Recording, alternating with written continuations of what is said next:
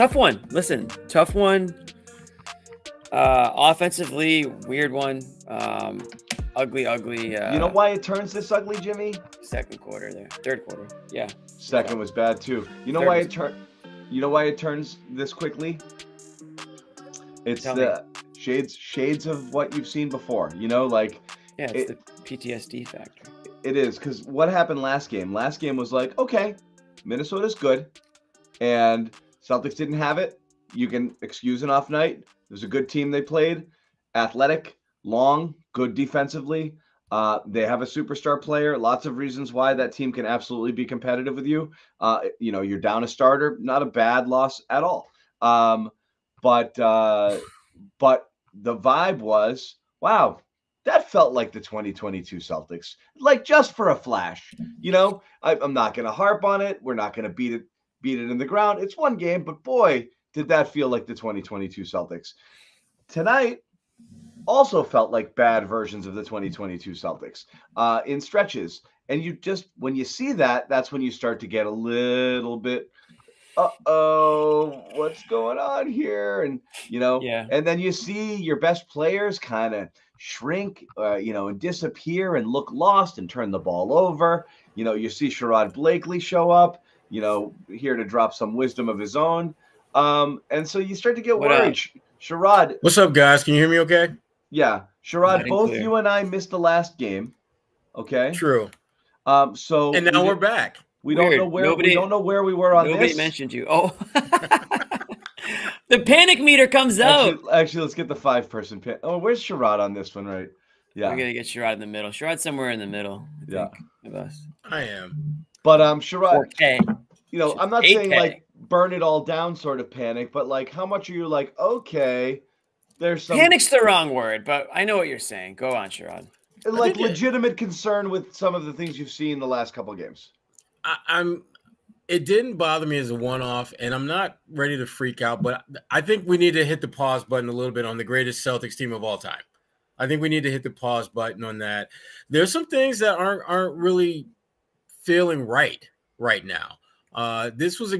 It seems that th- th- there's there's- too much of an ebb and flow with their greatness and their crappiness. Uh, they're either really really good and they're- or they're having those flashbacks to last year when we just kind of cringed when we saw them down the stretch. Um, you know that play at the very end there. Uh, I don't know what they were looking for, but it, it was it, it was almost botched. Yeah. Um, and because I think they were looking for Tatum, but it was over Tatum's head, so it just happened to wind mm-hmm. up in Porzingis' That was an And Porz- that was a great shot attempt, though. We I mean- That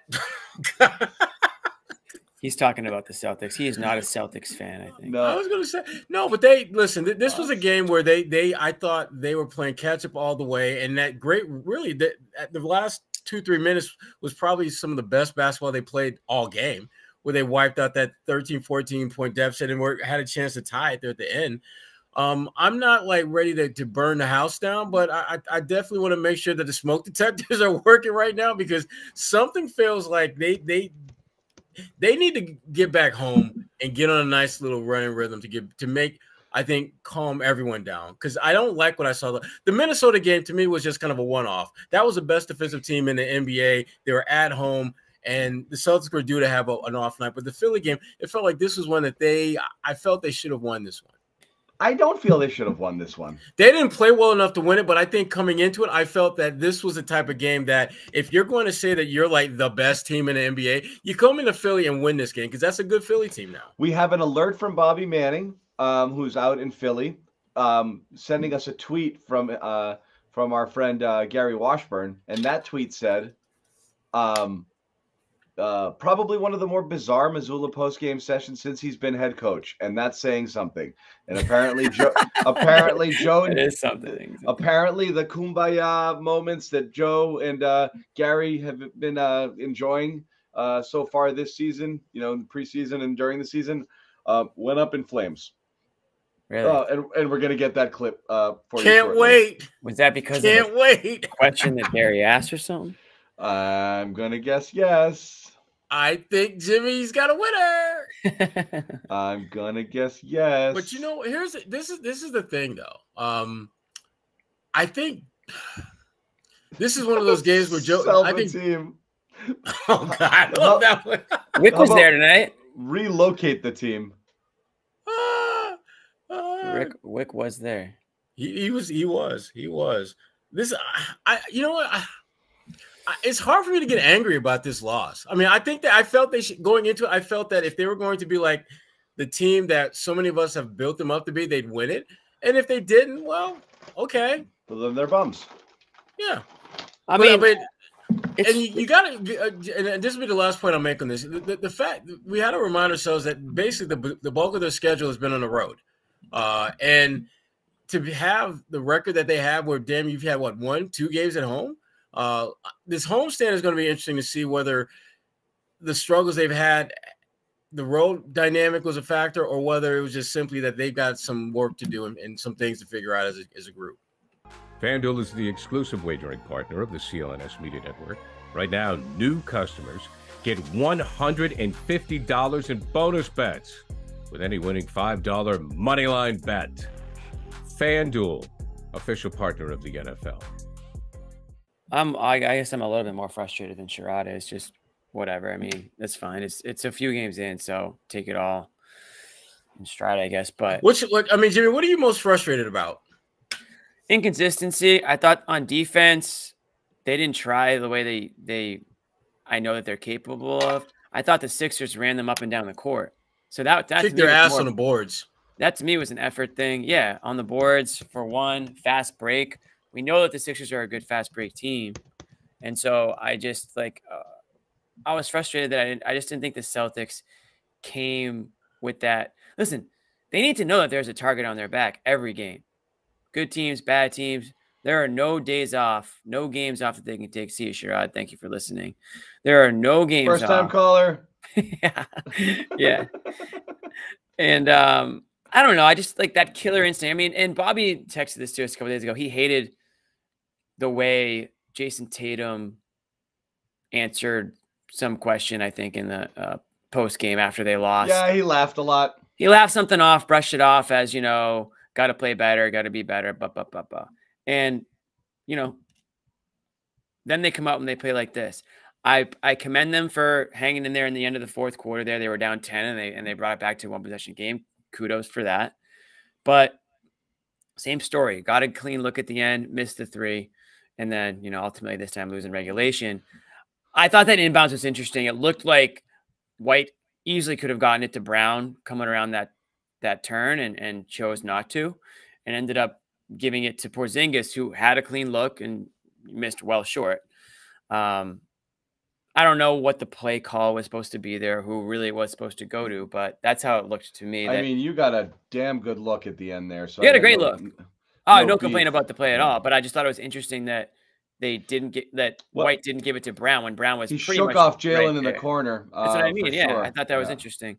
Um, and Brown had just hit a three right before that. So um, whatever. I mean, a few things frustrate me, but yeah, that certainly is one of them. I mean, Brown and Yeah. Tatum were cold throughout this one. Brown doesn't look. I'm gonna save that. I know that you probably have some thoughts. I, I was I was glad to see Yeah. Porzingis. On, on one hand, I thought Porzingis offensively looked good. On defense, again, it's against Embiid, but starting to see yeah. you know physical limitations here a little bit on The the, reason- defensive end with Porzingis. You ever notice why I don't Down go low hard on on block. I don't go hard on Jaylen after bad Jaylen games like all the time is because I, my opinion, my overarching opinion on Brown doesn't change with a good game or a bad game. I'm not playing this like, oh, did you see that half Xanis? I guess he stinks. Right, right. Nor am I like taking a victory lap when he has a dog shit game like this. I think he's got these flaws in his game that he hasn't been able to fix or get over. And when they rear their head, they're really freaking ugly, you know. But obviously, he's also capable of lighting the world on fire. That's just part of the Jaylen Brown experience. It's just when you're talking about somebody you're trying to take to another level and you know talking about him in a conversation of all NBA and among the best players X, Y, and Z. I, I you know I've never really bought into it. Um, for those reasons. HelloFresh makes it really, really, really easy to make sure that you're maintaining and eating real food uh, as opposed to just reaching into the cupboard and grabbing whatever you can on the go. Uh, and it's terrific. And again, if you don't have the time to shop and to do all of the prep work, HelloFresh is the way to go. Go to HelloFresh.com slash CLNS50. That's HelloFresh.com slash CLNS50. Use the code CLNS50, 50% off plus free Wow. shipping. It's a really good deal. Once again, America's number one meal kit. We're gonna listen. We're gonna get Sherrod back in a second. We're gonna listen to Joe Mazzulla and Gary Washburn uh, saying hi, saying hi to each other after the game. Here we go. Um, you, I was just finished reading a great article that you wrote in 2016 that the Celtics shot too many threes and they shot 42, and that was seven years ago. And we only shot five more tonight, and they lost 121 to 114, and you blame the offense, but not the defense. So, like, what's your fascination with too much threes for the last seven years? Well, it's been seven years. 2016, it's 2023. You, I just read it. It was a great article. Oh, thank you. Yeah. So, I mean, But it was like, are the Celtics settling for too many threes? You said that seven years ago. You're ahead of the curve. I am ahead of my time. um, Dude, that was weird. Ten, tense. I can't tell if he's joking or if he's serious. Oh, that that that's that. What do we call it? Tongue in cheek. Yeah, exactly. That was weird. Well, I wanna wish call- I wish I knew what the question was. I literally want to call answer, Gary right but- now and just say, what the hell that was that? Can we get Gary on? Can we get Gary on the show? Sure, I get him on the show. Let's get the let's get the lowdown here. Let's get it right from Gary's mouth and what happened. I mean, That what was was, the- weird.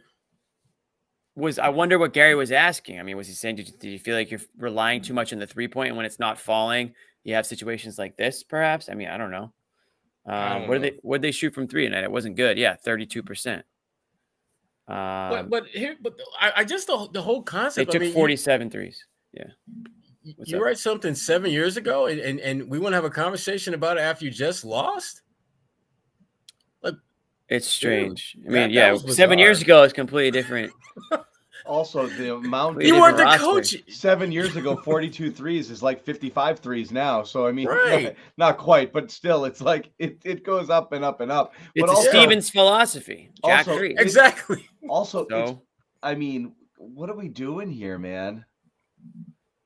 Like, why is Joe doing that? Like, I, it just it just doesn't help him.